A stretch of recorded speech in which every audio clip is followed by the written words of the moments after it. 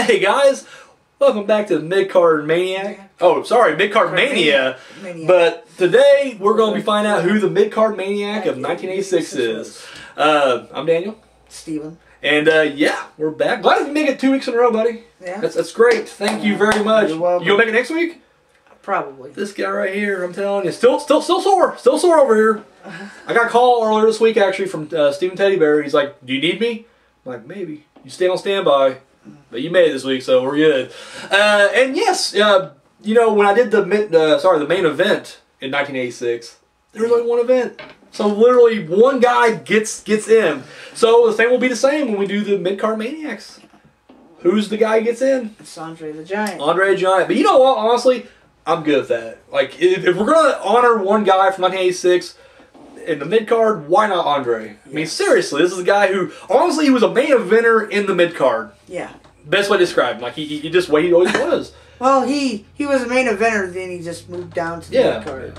And see, but to me, see, I, I didn't watch a whole lot of his early In stuff. my opinion, he, my opinion, he will always be pretty much one of the top guys. Oh yeah, no, absolutely. And that's, what- that's, that's what I'm saying. Like even when you watch him on that mid card, you're watching a main eventer. Yeah. It's like, uh, ah, we'll get sidetracked. I ain't gonna sidetrack. But anyways, but yeah, Andre Giant definitely deserves this accolade. So to me, him getting it just by default, it's okay with me. It's almost like when he won the world title. Mm-hmm. Clearly, it was just given to him just to say, hey, thank you.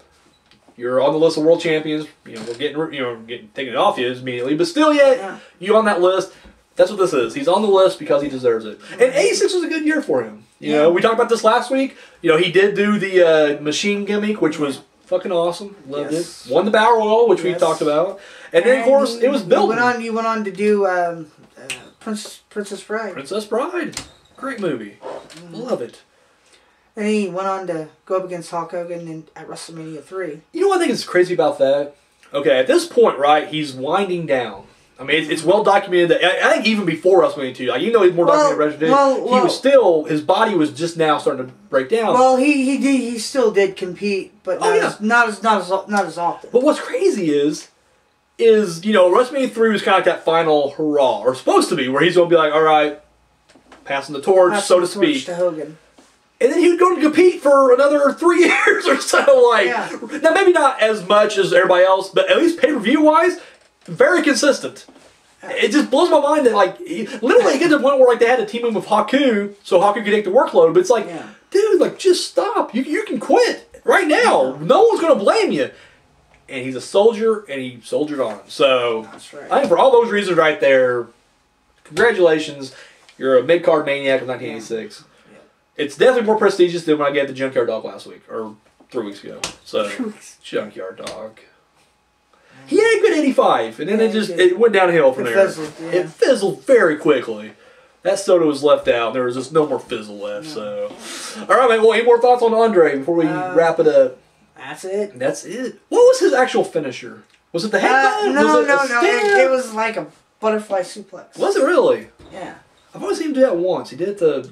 Did it to Hogan. Did he do Hogan? I don't remember. I remember he did the uh, Bam Bam at the or Survivor Series, but I don't remember. Huh. You just see him do that. Alrighty, well, go ahead. We'll sign off here. Uh, tune in next week. We're going to hit WrestleMania three. Oh, that's the big one. That's the big one. It has two matches, and that's it. It's the big one, though. You'll love it. So, all right. I'm Daniel. I'm Steven. We're out of here. Reading.